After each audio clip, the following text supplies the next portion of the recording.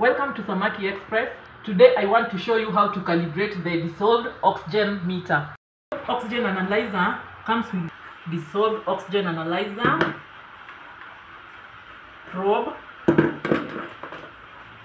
dissolved oxygen membrane set, and electrolyte solution. Let me now take you through the calibration process. You take your probe, you open down here,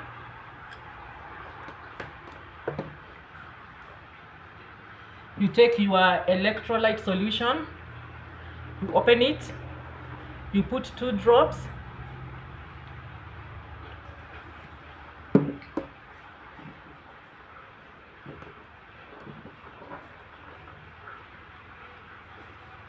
then you close it again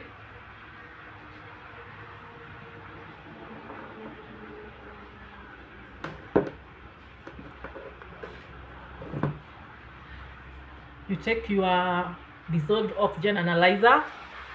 You take the silver part put it in.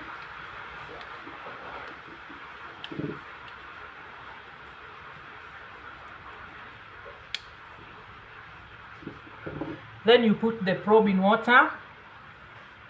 And then you press your calibration mode button.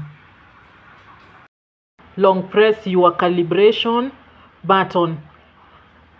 You wait for some seconds then it will start reading for you. And make sure that you have the, dis the distilled water.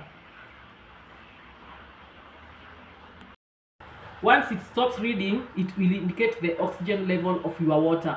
Then you are good to go with your dissolved oxygen analyzer